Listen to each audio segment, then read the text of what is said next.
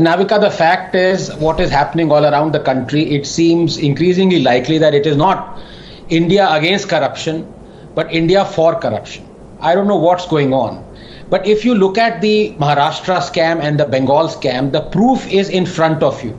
672 chawl owners who had poor people who had their homes have been denied their home. There's an obvious scam there. In Bengal, the SSC, you see those mountain mounds of illegal money. So there's a scam there. What I want to concentrate tonight is the National Herald scam because the nuance is not very well known to the public. So if you permit me a couple of minutes, I want to tell you that National Herald case, just like the Maharashtra case and the Bengal scam, is an open and shut as it can get. It is the Kohinoor in the Congress crown of scams. So the question is not that the Congress is corrupt or indulging in scam. Of course they are. I mean, the scam glut is such that even the Congress leaders get confused which Congress leader perpetrated which scam. Was Raja in National Herald? Was Rahul in Coalgate? Was Chidambaram in 2G? The cup runneth over, Navika. No.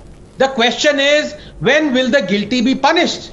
And that is why I'm afraid the Congress is going to brazen this out, especially the National Herald one. They know Nothing is going to happen to them, and worse comes to worse. Rahul Gandhi will join the BJP. In any case, he's working for the BJP. The incontrovertible fact, Navika, is that in this country, you can fool all of the people all of the time. The Congress spokesperson's brief probably consists of a single line, which is that if on an off chance you can't commit a scam, at least defend the person who did.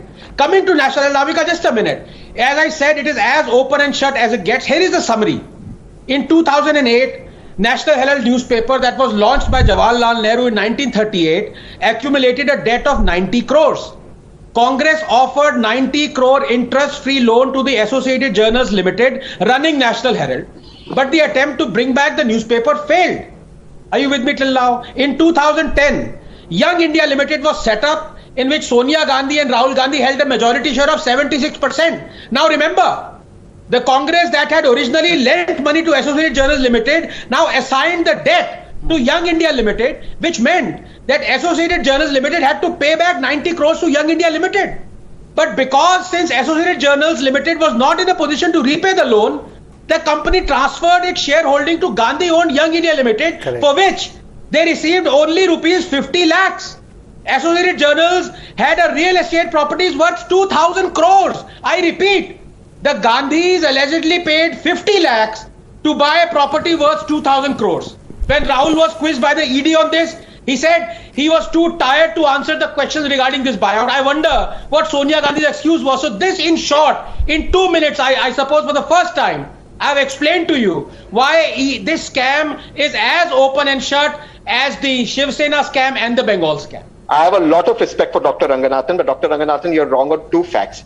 Number one, fact number one is the 90 crore loan was not given in 2008, was given over a period of 10 years in uh, small installments. That's point number one. But the more pertinent point, Dr. Ranganathan, since you're a man of science, data, and one who's well researched on Times Now Navika show, please read the first paragraph of the Young India objectives and the Associated Journal objectives. Associated journals cannot transfer one property, one property to Young paragraph. India, and Young India cannot take any any property from Associated Journals because Young India is a Section 25 not-for-profit company. They cannot even sell the assets because these are government I'll properties on lease paragraph. and you cannot sell it. A more important paragraph from 2015. After having considered the entire case in its proper perspective, this court finds no hesitation to put on record that the modus operandi adopted by the petitioners in taking control of AJL via special purpose vehicle Young Indians, particularly when the main persons in Congress, AJL and YI, were the same evidence is a criminal intent. And the trial court had said, yes. and please understand what the yes. trial court had said from the complaint and the evidence said so far, it it appears that YI was in fact created as a sham or a cloak to convert public money to personal use for a special purpose vehicle for acquiring control of 2000 crores